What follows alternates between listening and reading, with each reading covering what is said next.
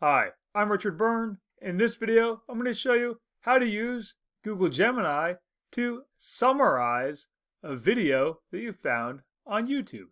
Let's go ahead and take a look at how to do this.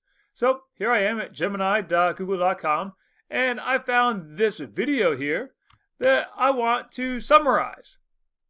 And so I'm just going to copy the link to the video. I'm going to go back over here to Gemini and put it in the prompt like,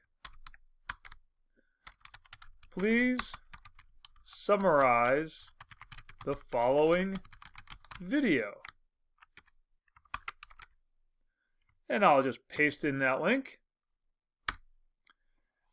And now Gemini will summarize the video for me. You're going to see there's the YouTube video and it's going to pull part of the transcript and summarize the video here. And it even tells you that Richard Burns says he has been using the tool this spring and likes it so far, right? which is actually true. And so we can then see there's that summary of the video itself. Now, I should point out that's not the full transcript of the video. That is just a summary of what was said in the video itself. But it is a handy way to find out what a video is about without having to watch all the way through it. For more tips and tricks about Google Gemini and lots of other tech tutorials, please subscribe to my YouTube channel.